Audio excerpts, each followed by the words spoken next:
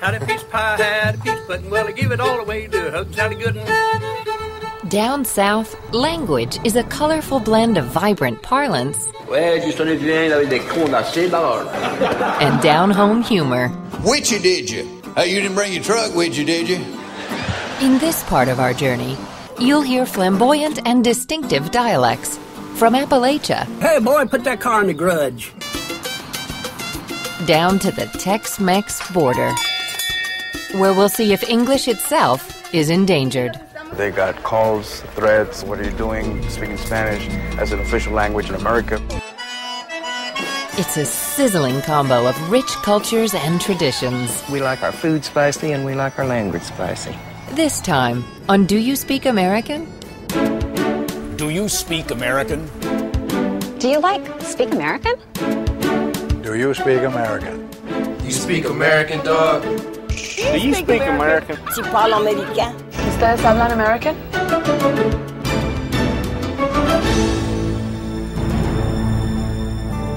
Do You Speak American has been made possible in part by the National Endowment for the Humanities, promoting excellence in the humanities.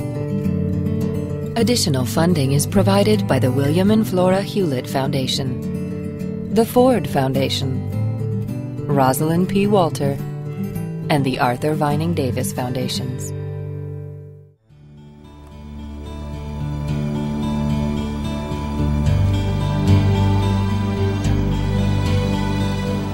We're on a journey that takes us across the USA and through the American language.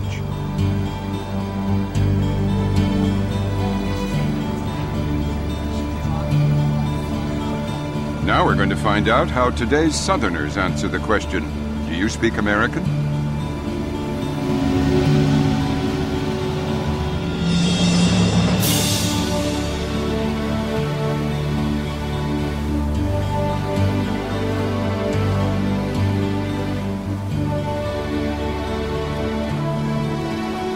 The greatest division America ever experienced was between North and South, and that is still reflected in our language. Now we're running along the beautiful Ohio River to Louisville, Kentucky. The Ohio River, the traditional northern boundary of the southern accent.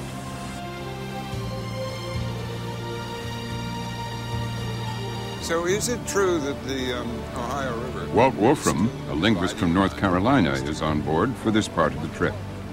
The first group to settle an area seems to have a lasting effect on the dialect area. And even though we've had all these changes over a couple hundred years, Yeah. the original dialect boundaries seem to be fairly intact still.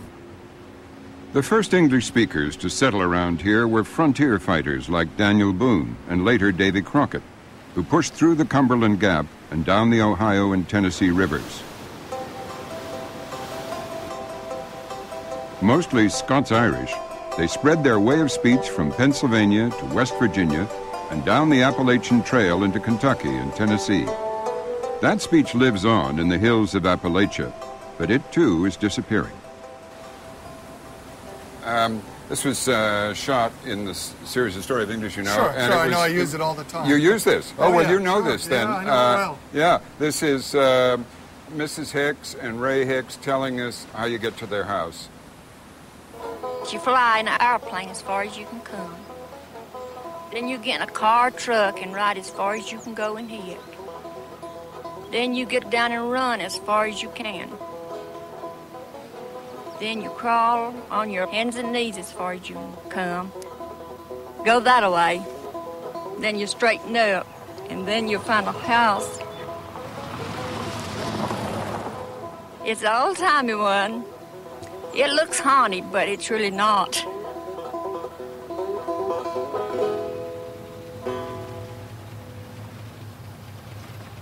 Ray Hicks used to be famous round here. People would come from miles around to hear him tell folk tales in one of the last surviving examples of true Appalachian dialect. Howdy, howdy. howdy. Now, howdy. That sounds more like Texas to me, but that's Yeah, that's. they do use some of that in Yeah. Appalachia. Howdy, Ray. Howdy. How are you today? Just to make amazing how are you. Just come ah. on in. Howdy, Ray. Just come on in. Tell us a ghost story, Ray. Yeah, tell us a ghost story. Okay.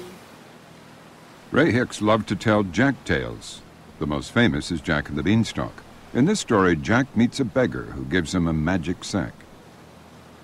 He says, I'm going to give you something. He said, here's a, a sack that if anything gets to bothering you, just say whickety whack into this sack. Wickety whack into the sack? Yeah, well, he's got so many of the traditional features of Appalachian dialect the uh and a hunting and a fishing, and the use of the tar, tar, and the H before the it and so forth. And, and it's really neat that you preserve this because Ray recently passed away. Today, fewer and fewer people speak like the late Ray Hicks and his wife Rosa. The old mountain dialect may be vanishing, but when we went ashore at a little place called Rabbit Hash, Kentucky, seemed to me the local talk was still distinctive and vigorous. How are you? Doing? Yeah. Hi there, Dwayne Doyle. Hi, Dwayne. Nice to meet you. Robert MacNeil. Yeah. Walt Wolfram, pleased to meet you. We're down the road, got muddy, stomped my toes, couldn't stand steady. Upon the hillside, I seen Sally coming, well, I thought to my soul, killed myself a running. Had a piece pie, had a piece pudding, well, I give it all away to Hug Sally Gooden.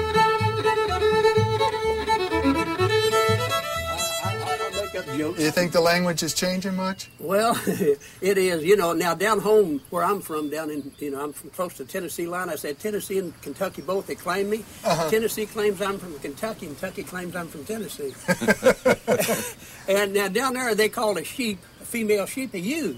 Uh-huh. I mean a yo. Up here, they you know they, they call it a, they call it a ewe. Down there, they call it a yo. Right. And then they'd say, "Hey, boy, put that car in the grudge." You know, I said the Yeah. grudge is some what you have against somebody. guy said, "No." I said, "Dad tells me put the car in the grudge every day." See, we talk like that, and y'all. Is that one of the things you grew up oh, saying? yeah, I said, yeah.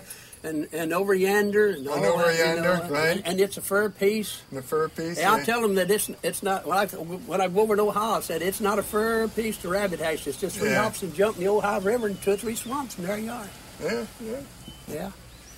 Now you know, ju- you know, just like you say, you know, we'd say you all, and up here they'd say yous all, Uh-huh. and you know, yous and yos and you all and yo all. You ever hear Yins? Oh, oh, Ewans. Oh, yes, sir. That that's uh, my father was from North Carolina. and It was Ewans. Yeah, that's and right. they'd the mountains like, of North Carolina. It's and then when they would treat a person, uh, you know, you know, do a bad turn for him, instead of saying I wouldn't serve a dog like that, they'd say I wouldn't serve a dog like that. Sarve a dog. I wouldn't serve a dog like yeah, that. yeah, yeah. And fetch, you know, yeah, go fetch it. and, and get me a poke to put something in. They don't call it a bag. bag, yeah, yeah. Yeah, I, I- know all, all that stuff. You know, I, I was playing up here one night in the. Mm-hmm. In, in, in a place where they dance, and some lady fell out on the floor, and I said, "Hey, come here, now I'll pick you up." I told her, I said, Well, I was on the hillside, seen Sally coming, thought to my soul, killed myself a running. Had a piece of pie, well, had a piece of pudding, well, I give it all away to Hug Sally Gooden. Had a piece of pie, had a piece of pudding, well, I give it all away to Hug Sally Gooden. You, you've studied so many different aspects of American speech. What would you say is the most important trend in our language now? I think that one of the most important trends is the fact that we're coming to celebrate and recognize some of the dialect differences as a part of our natural cultural heritage, uh, rather than simply try to stamp them out to eradicate them. Speaking is part of culture. It's part of simply defining themselves. I think a sort of growing celebration of dialect differences is one of the most encouraging signs that I've seen.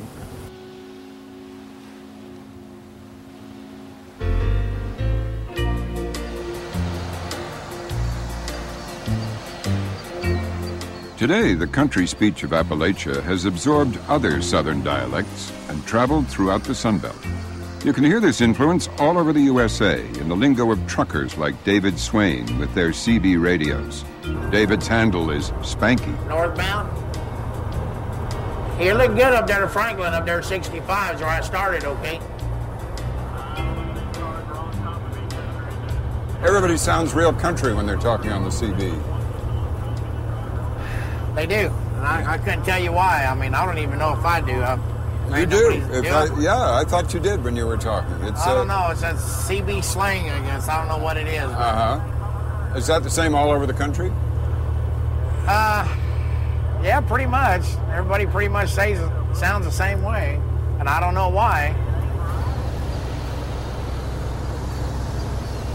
Spanky, you say you play music on the road. What's your favorite kind of music? Uh, my favorite is country music. Yeah. Well, as a matter of fact, I've got a, a nephew that's in the country music business, uh, Cody, and uh, he lives in Nashville. And his, his, to be honest with you, his his CD has taken me many miles.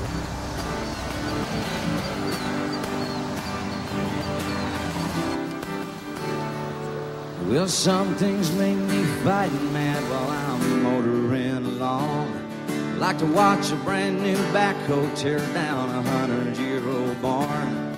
Well, it makes me wish that I was rich, cause I'd buy up that farmland. And find the folks who were forced to sell and hand it back to them.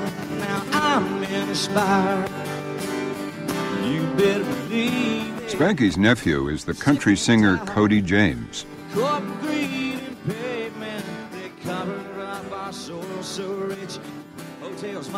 Cody looks, sounds, and sings pure country.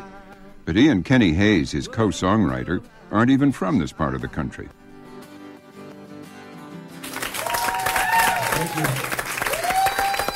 Neither of you is from the real South. You're originally from Oregon, you're from Maryland, which is near the South but not in.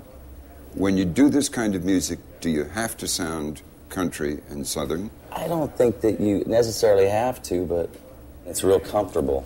And when you start doing it, like doing it, right there as an example, Yeah. it's easier to talk that way than it is It to is.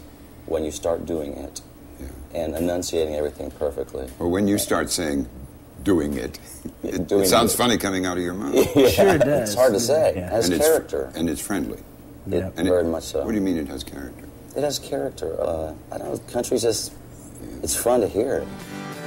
Blue eyes just gleaming, the sweetest thing I've ever seen. Music like Cody's is part of the popular culture that is making talkin' country the informal way to speak American. You can hear it almost anywhere, turning its Appalachian origins into a national trend. John Fought has studied the New South phenomenon, that vogue for Southern ways and country talk that now seems to reach farther and farther. For a long time, uh, the most rapid population growth percentages in the U.S. have been in the inland southern area, the Sun Belt. This dialect is a very large dialect, and it's perfectly to be expected that we would see a lot of it. It has probably the largest body of speakers of any of the American dialects now, and this will only grow with time. So, Southern, inland Southern, is now the largest dialect in America and growing. I hope so. but it seems confirmed by the 2000 census.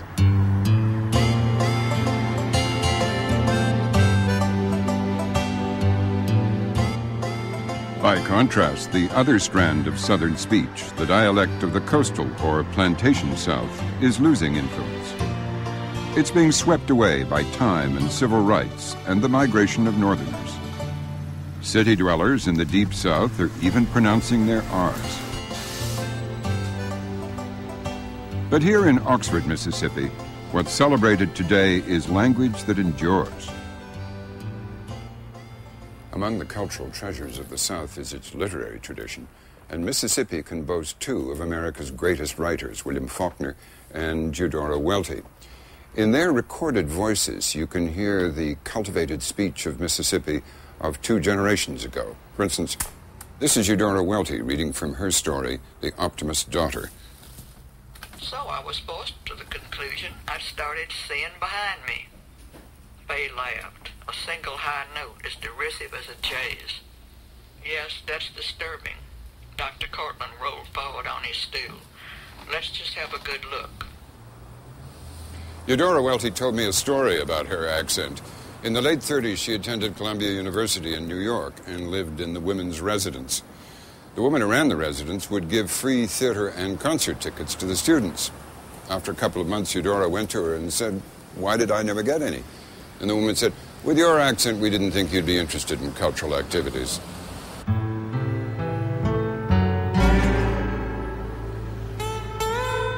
That kind of prejudice is still alive today, if more good humored.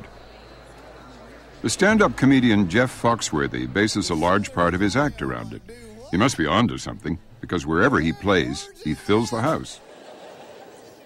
Speaking of words, uh, got a few more southern words for you. Uh, first one mayonnaise. Mayonnaise, a lot of people here tonight. It's kind of a gift. They come to me in my sleeve, I write them down. Uh, innuendo. Hey, dude, I saw a bird fly in your window. Do you think northern people think southerners are stupid because of the way they talk? Yes, I think so, and I think Southerners really don't care that Northern people think that. Uh, you know, I mean, some of the the most intelligent people I've ever known talk like I do. In fact, I used to do a joke about that, about, you know, the Southern accent. I said, nobody wants to hear their brain surgeon say, all right, now what we're going to do is saw the top of your head off, root around in there with a stick and see if we can't find that dad burn clot.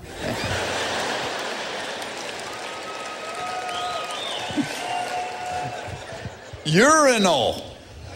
I told my brother in a lot of trouble when daddy gets home. And last but not least, whichy did you? Whichy did you? Hey, you didn't bring your truck with you, did you?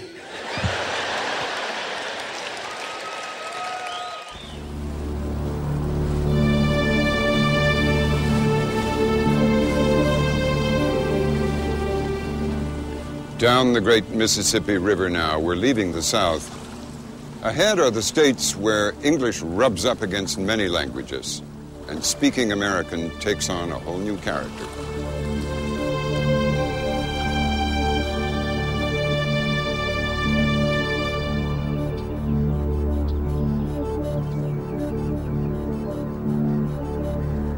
We're 10 miles up State Route 13 from Eunice, Louisiana, driving past flooded rice paddies.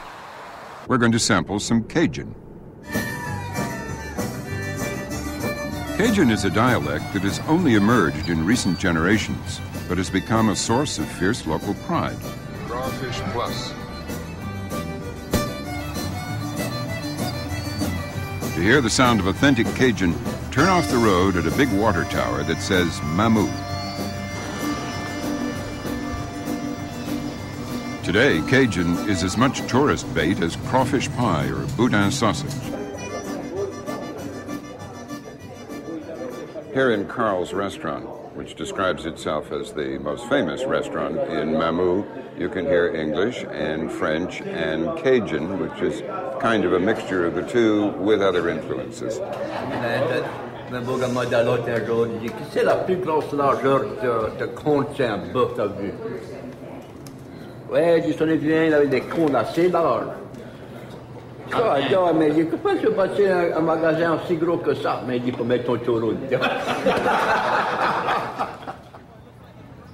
While I was hanging out in Carl's, there was a steady stream of people arriving at Fred's Lounge across the street.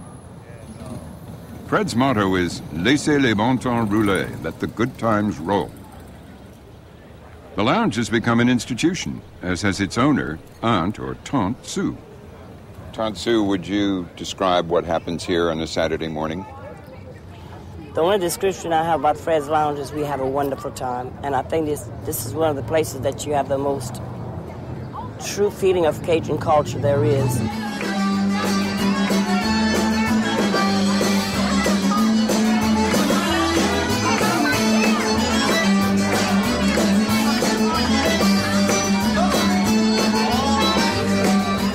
People coming in at 8 o'clock. Uh, we promote to offer them Bloody Mary because it's a mild drink and it's very good. Once that band starts playing, they do start drinking.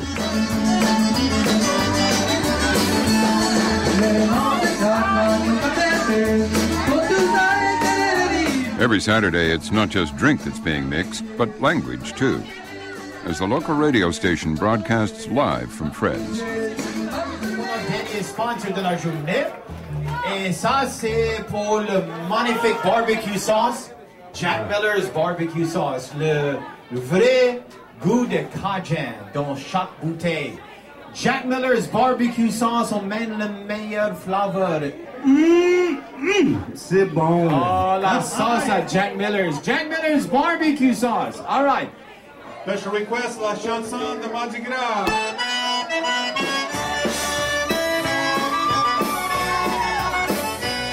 American English smothered in Cajun is what you hear in Tante Sue's speech. We have Fred's Lounge t-shirt with the accordion on the front, which is our regular logo. And when the accordion starts playing in the band, I play my accordion on my t-shirt. And I have a great time, and I don't miss a note. I don't know how to play the accordion, but I don't miss a note on my t-shirt.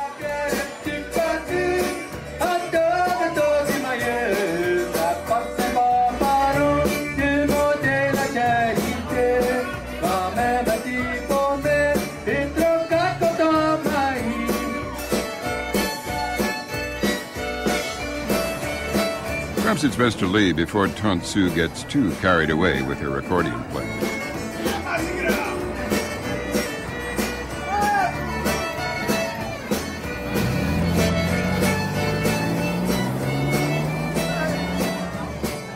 I'm heading out of Mamou to the west. I'm on my way to the Texas border and the next leg of my journey through American English.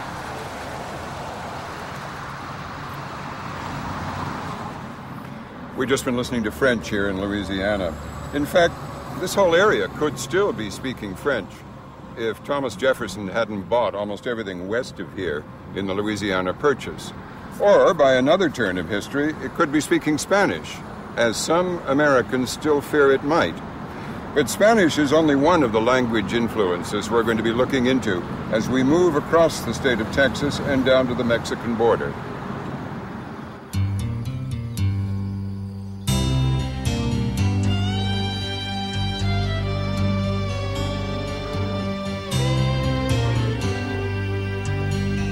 Texas accent has its roots home on the range. You can hear it on the Bar J Ranch near Beeville when the young cowhands, slow talking and laconic, tell how to round up cattle.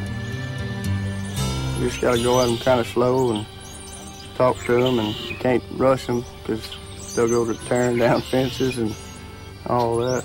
But like the cattle we worked earlier this morning, we went out there nice and slow, and they went straight to the brush. And we, we they're probably still out there. Depends on how much you you work them and stuff. Once you break one loose from the herd, she's going to be a little bit wilder, a little bit more uh, hot-headed than the other cattle because she's away from her herd. Texas speech is a combination of two southern dialects. Some of those who settled here came from the plantation areas of Alabama, Georgia, and Mississippi. Others came down from Appalachia, Tennessee, and Kentucky. The result is a kind of southern speech that's different from anything else. Add to that a mixture of Germans, Poles, and Czechs who immigrated directly to Texas, and you have something quite distinct.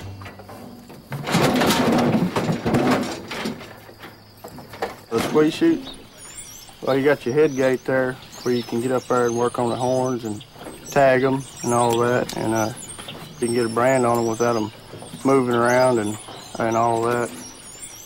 Jake describes right. They're not. We're not hurting the animal. We're just restraining it so we can work on it properly. You got it? Yeah, you got it. A Texas accent is so catching that outsiders who move here, like ranch owner Linda Blackburn, can't help picking up that twang. there. You must really love this, do you? Oh, I wouldn't trade it for anything. Yeah, yeah. Being out in the open. I'm not a house person. Uh, love the horses, dogs. They're working in increment of this situation here. And of course, the boys. Look at them. Wouldn't you like this?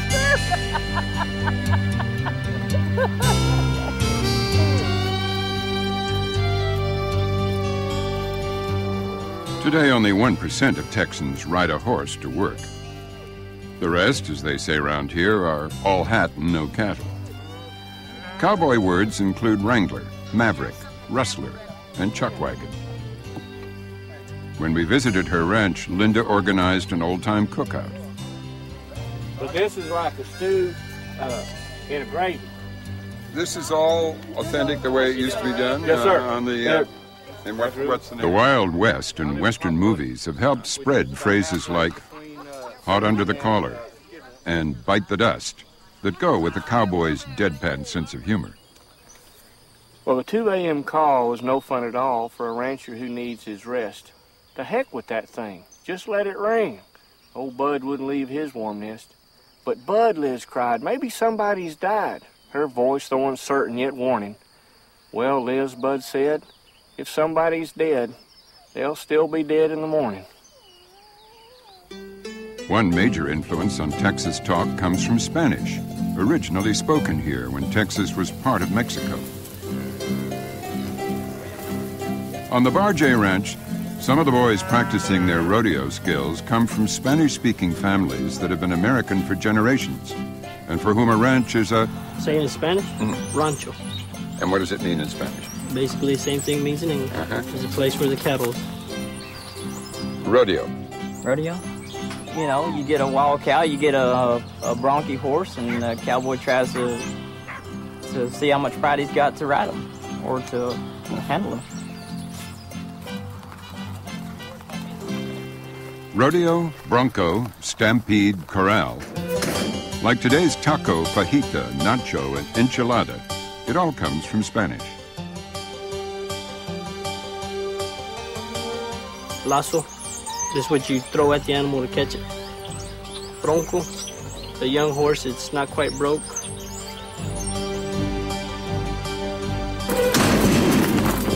Pinto, the color of a horse or a bean. Vamos it means let's go.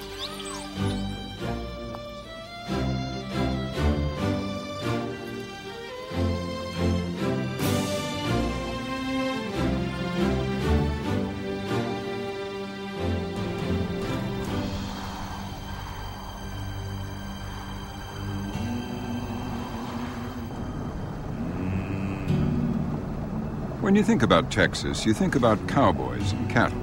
You don't think about cotton and slavery. But that's in the history of this dry, flat, and stiflingly hot east central Texas.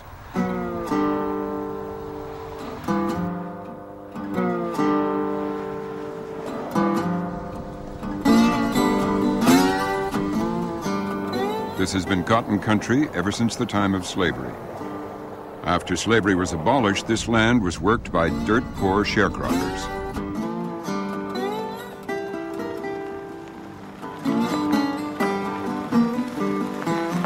I'm meeting two linguists at the country store in Springville, a tiny community sandwiched between two Union Pacific Railroad tracks. For more than 17 years, Guy Bailey and Patricia Cukor-Avila have been conducting a remarkable piece of research into the language of local African Americans. How you doing? Welcome to Springville. Thank you. Welcome to the train. Welcome to the train, right? Yeah, right. You have these all the time? Yeah, yeah, About all every the time. few minutes, right? For generations of sharecroppers, black and white, the country store was the center of their lives. This is where they bought provisions, stores, and tools, and this is where they borrowed money from the white store owner until they sold their cotton. The store has been owned by the same family for more than a century. In many ways, it's hardly changed at all. It's in a kind of time warp.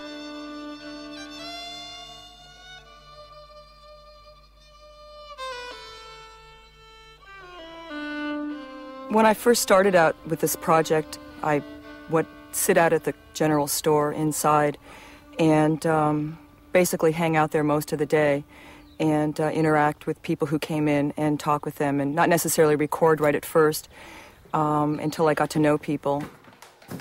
Hey, stranger. the mail is still delivered at the store. There is no home delivery. People oftentimes